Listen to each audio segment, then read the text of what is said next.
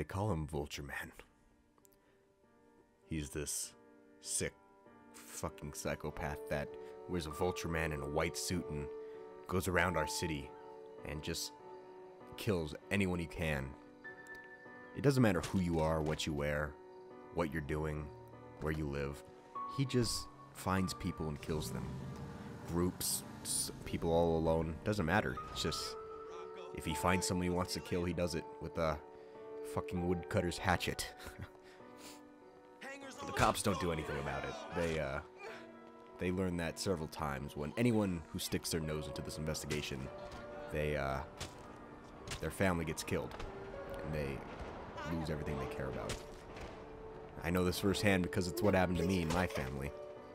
I just uh just stuck my nose into the case a little too far and he showed his message by uh killing my my son and wife in just gruesome ways.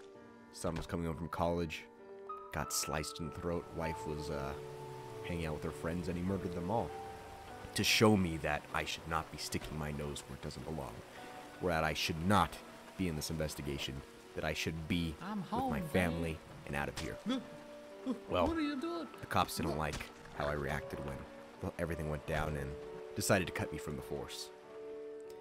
I didn't take it too well, but going from a detective officer, whatever you want to call it, down to nothing, it it really hits your heartbone.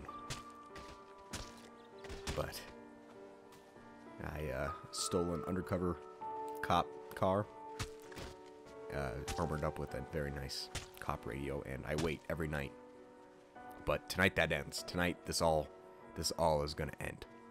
Because I'm going to find him and I'm going to kill him for what he did to my family. I promise. Attention all officers, there have been reports of a break-in at 332 Town Street. Please advise he's armed and dangerous with a hatchet and report That's my cue. This ends tonight and I will avenge what he did to my family, to the people I love, and he's going to regret it.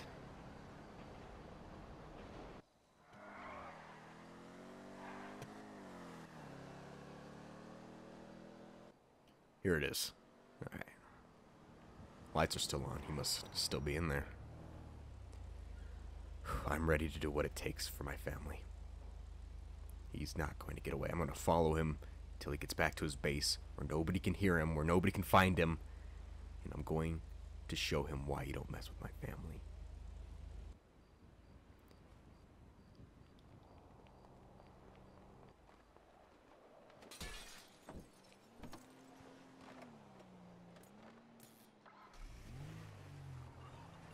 There you are, you bastard. Just drive. Think you got another clean getaway. Not this time.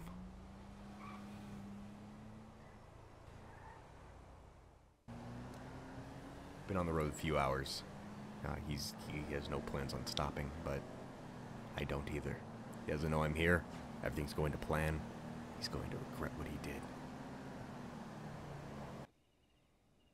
He finally stops at a farm up in rural county. I know how this is going to go down, but I I don't care. I don't care what happens to me after this. As long as he's dead.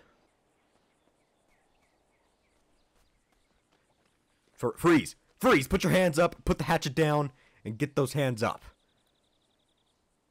You, you bastard thought I would never find you for what you did to my family. I know you know who I am, and you're gonna regret for everything you did to me, to them. Bastard. Killing me won't bring your family back, son. If you kill me, then you'll be running from the cops for the rest of your life. Is that what you want? Why don't you walk away now? We can forget this ever happened, and you can continue your life and return to the department as a real officer instead of a lousy a vigilante. Fuck you.